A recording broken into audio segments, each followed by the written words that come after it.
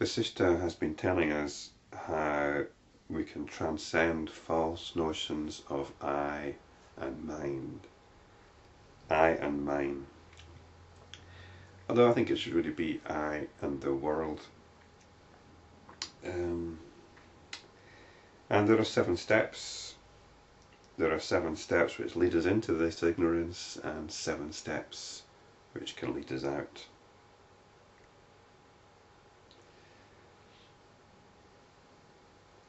And um, I was pointing out also that liberation is a practice. According to the Yoga Vasishtha here, uh, liberation can be disturbed. It's not something which is a once and for all thing, as is sometimes commonly believed or commonly advertised even. The state of self-knowledge, this is liberation, the state of self-knowledge is that in which there is no mental agitation neither distraction nor dullness of mind, neither egotism nor perception of diversity. So there's neither distraction nor dullness of mind. It's when the attention is not going all over the place. It's actually settled in itself. And it says neither dullness of mind. The um, you can get into a bit of a pleasant stupor sometimes in, in meditation even when you're uh, in a state of concentration. There's neither egotism nor perception of diversity. So there's neither, you're neither caught up with any notion of yourself and you're not caught up in any notions of the world. The delusion that veils this self-knowledge is sevenfold.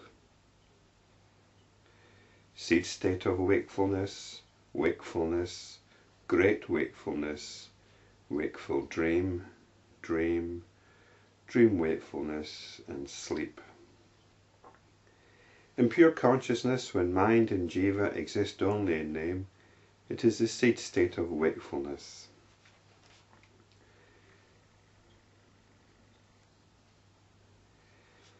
We're talking here about the notions of a self and an external world.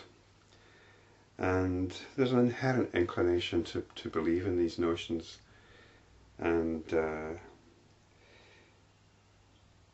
if you've if you've if you're coming to after having passed out or just even waking up, what what what, what what's happening is that these notions become apparent then.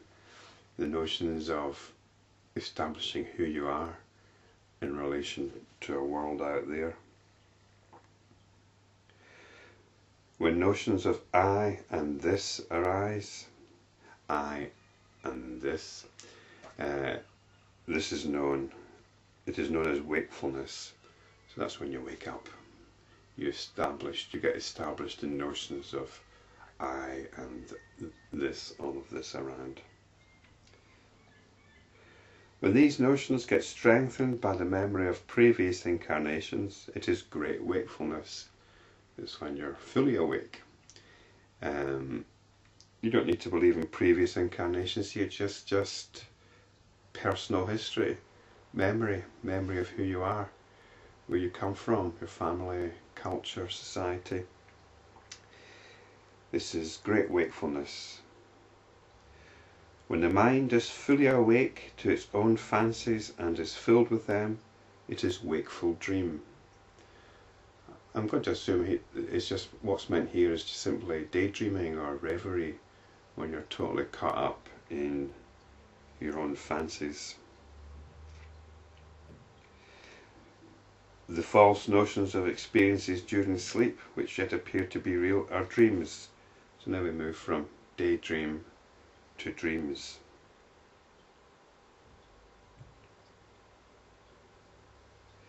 We're in the realm of sleep. In the dream wakeful state, one recalls past experiences as if they are real now. So uh, here we've got the dream wakeful sleep, we've got the dream wakeful state, which seems to be about having dreams which reflect or repeat what has happened previously in your everyday life. When these are abandoned in favour of total inert dullness, it is sleep. I think that's usually called deep sleep. These seven have their innumerable subdivisions. I'm sure they do. You could probably play around with this kind of categorization um, ad infinitum.